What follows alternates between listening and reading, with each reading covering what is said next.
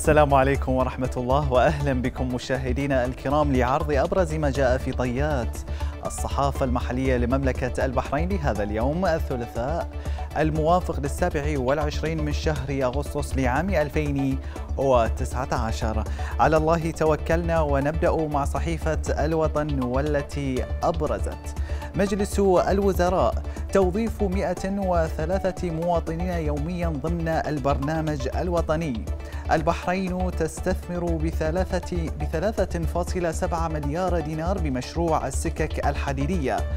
بيان سعودي إماراتي. الجهود مستمرة لإغاثة الشعب اليمني. ومن صحيفة الأيام نقرأ عيسى بن علي لصحيفة الأيام حريصون على إنجاح مبادرات ناصر بن حمد لتطوير سلتنا. التربية عودة المدرسين يوم الاثنين والطلبة بعد عاشوراء. ترامب إيران الدولة الراعية للإرهاب في العالم.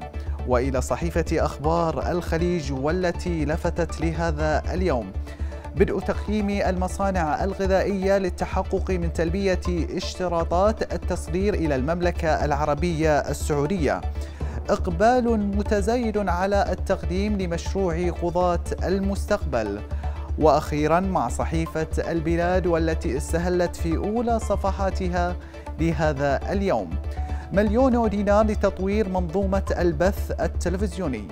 خطى ثابتة لإتمام بناء أربعين ألف وحدة.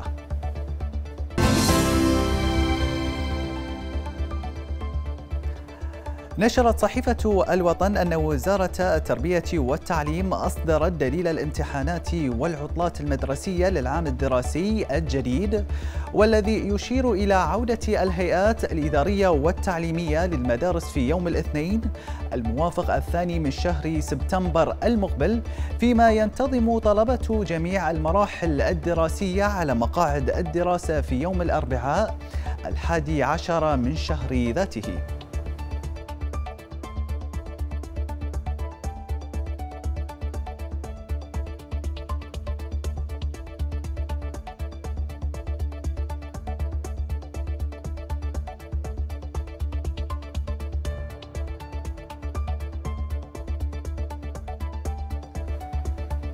هذا وأعلنت جامعة البحرين عن نتائج القبول ببرامجها للمرحلة الجامعية الأولى البكالوريوس والدبلوم. المشارك للعام الجامعي 2019-2020 من خلال إرسال رسائل نصية للطلبة. إلى ذلك تبدأ في الثاني من شهر أكتوبر المقبل أعمال مؤتمر البحرين للسكك الحديدية.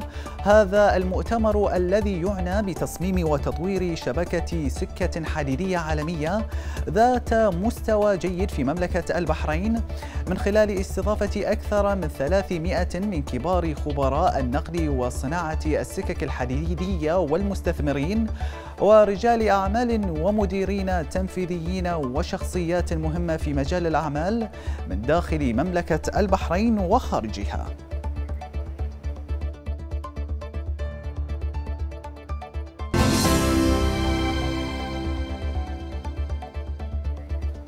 إلى صحيفة أخبار الخليج والتي لفتت أن وزارة الأشغال وشؤون البلديات والتخطيط العمراني بدأت يوم الاثنين بتنفيذ أعمال المرحلة الأولى من مشروع تطوير شارع الشيخ زايد والذي ينفذ بتمويل من صندوق أبو ظبي للتنمية بقيمة 23 مليونا و400 ألف دينار بحريني.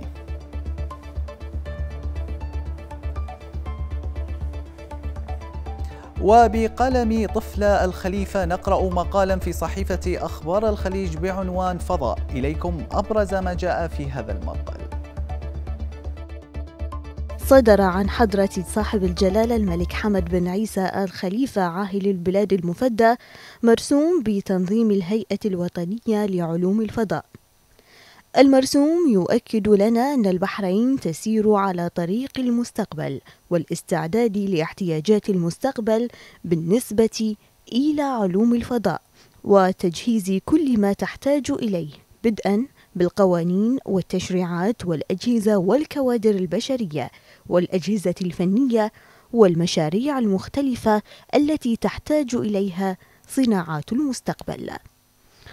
ومن بينها علوم الفضاء التي باتت ضرورة لكل دولة ومجتمع تحفظ أمنه وتطور مجالات الاتصال فيه وهي مجالات واسعة لعلوم المستقبل سواء في مجال الاتصالات أو مجالات إدارة المعرفة أو مجالات العلوم الإلكترونية وغيرها.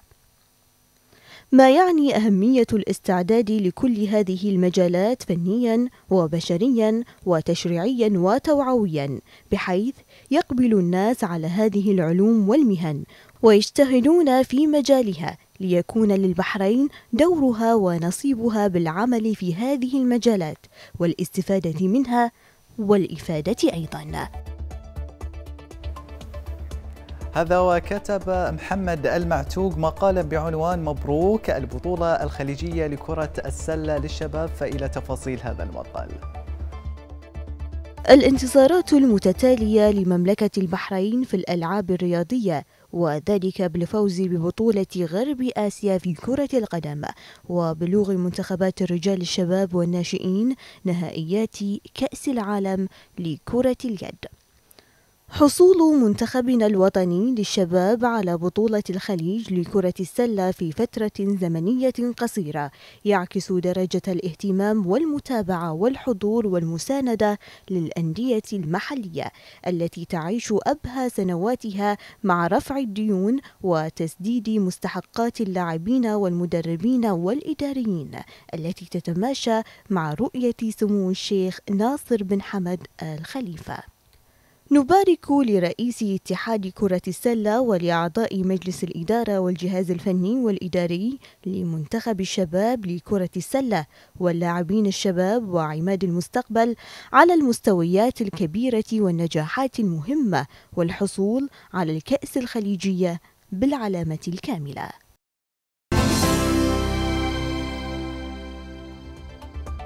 نتحول إلى صحيفة البلاد ونطالع منها أن جمعية البحرين لرعاية الوالدين.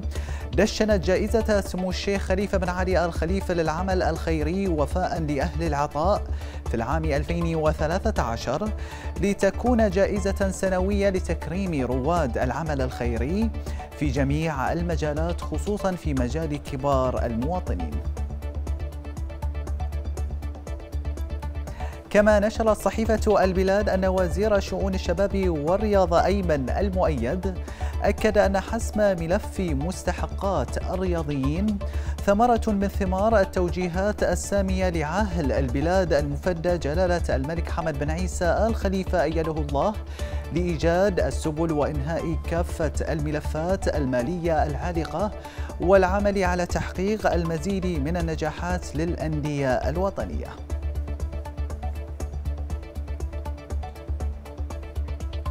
بقلم المستشار والخبير القانوني عبد القادر ورسمه نشرت صحيفة البلاد مقالا بعنوان سريان قانون حماية البيانات الشخصية إليكم أبرز ما جاء في هذا المقال. أولت حكومة البحرين حماية البيانات الشخصية اهتماما خاصا ولائقا وحضاريا. وسريان القانون يبدأ من أغسطس الحالي. وأزف وقت التطبيق. ويلاحظ المطلع على القانون أنه تضمن المبادئ القانونية العامة الخاصة بحماية الحقوق الشخصية. وقصد المشروع أن يضع البحرين في مستوى المعايير الدولية التي ينادي بها العالم المتحضر والبيانات الشخصية. ينظم القانون التعامل مع البيانات عبر المعالجة ومن الشروط أن تكون المعالجة منصفة ومشروعة أن تكون قد جمعت لغرض مشروع ومحدد وواضح الا تتم معالجتها لاحقا والا تتم لدعم اتخاذ أي قرار أو إجراء بشأن فرد محدد أن تكون كافية وذات صلة وغير مفرطة بالنظر للغرض من جمعها أن تكون صحيحة ودقيقة وتخضع للتحديث. ينص القانون على إنشاء هيئة حماية البيانات الشخصية. تتولى الهيئة كافة المهام والصلاحيات اللازمة لحماية البيانات الشخصية. وهكذا القانون يمنح هذه الهيئة كافة المهام والصلاحيات لحماية البيانات الشخصية.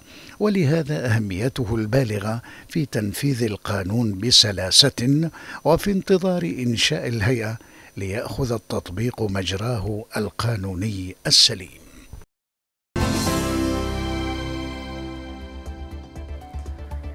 وإلى صحيفة الأيام التي نشرت أن هيئة المعلومات والحكومة الإلكترونية أطلقت مشروع فرصتي والذي يعد فرصة لتطوير مهارات موظفي الجهات الحكومية وذلك بالتعاون مع مايكروسوفت ومعهد Think Smart للتدريب والتطوير وذلك من أجل التنافسية الشاملة في مجال التقنية.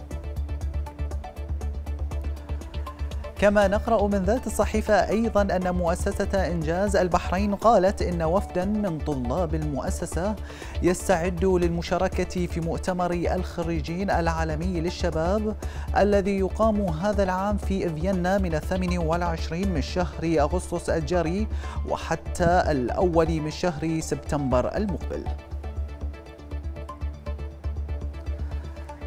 ولفتت صحيفة الأيام أن الشابة البحرينية زهراء السيد باقر ابتكرت تطبيق أيدونر والذي يهدف إلى أخطار الأشخاص المتبرعين بالدم عن وجود حالات مرضية في أحد المستشفيات بحاجة للتبرع بالدم.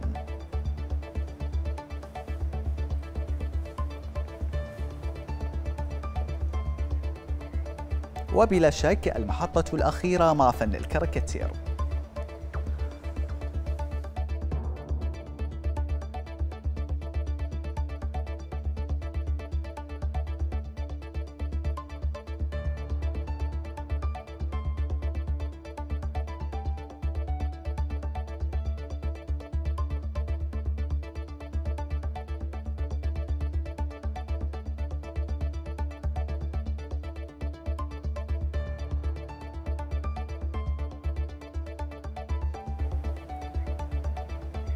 وبفن الكاريكاتير مشاهدينا نكون قد وصلنا إلى ختام برنامج صحافتكم لهذا اليوم. شكرا لكم على طيب المتابعة وإلى اللقاء.